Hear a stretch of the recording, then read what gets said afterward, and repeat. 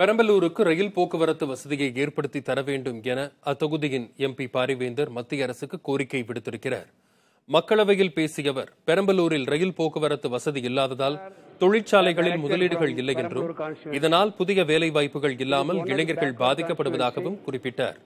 மேலும் பெரம்பலூர் உள்ளிட்ட நான்கு நகரங்களை இணைக்கும் ரயில் போக்குவரத்து திட்டம் பல ஆண்டுகளாக கிடப்பில் உள்ளதாகவும் அதனை விரைவாக செயல்படுத்த வேண்டும் எனவும் பாரிவேந்தர் கோரிக்கை விடுத்தார். My request to the government is through you that we need badly a railway line that is connecting four districts nearby. The produce of the farmers will be taken to these nearby four districts.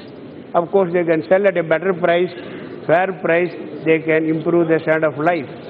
Ariyalur, Perambalur, Thurayur, and Namakkal. If these four is linked by train, there will be better development in my constituency by which we can eradicate the problem of unemployment.